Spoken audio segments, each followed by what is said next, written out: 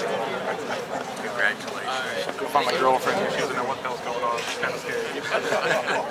I got Bunch of tough guys, you know? silver score, so they all let them at the bottom. Yeah, it's a responsibility, but you know what? There are lots of people out there that are healthy stories. It's my duty now to tell them, so. I have to tell you, I'm still... Hold on, I'm like... You're right. You're right. Oh. oh. Congratulations, son. I want to tell you that my grandfather is on my house. Anyway, Ralph, yeah. And I see how I was there.